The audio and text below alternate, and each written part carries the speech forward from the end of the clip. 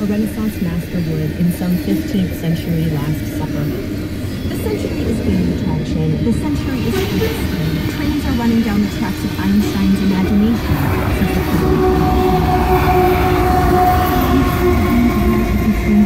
What will you see? Who constitutes an objective observer? What is the fixed measure? Where is the point of rest? McGrath asks. We hold our breath. We still don't know.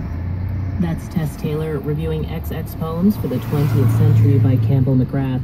Taylor's newest book comes out in April. It is called Work and Days.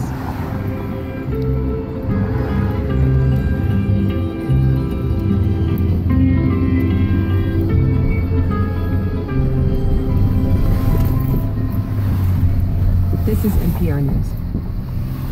Tomorrow on Morning Edition, a successful business. We should have took it at 63rd Street where the mechanical bell. Steve Forbes, who ran twice, has advised other candidates. And He says this about 2016. All right. All of us are a bit humbled. Donald Trump has broken every rule in the book and seems to get stronger each time he does something that normally would sink another candidate. I'm Rachel Martin Forbes on the Republican campaigns.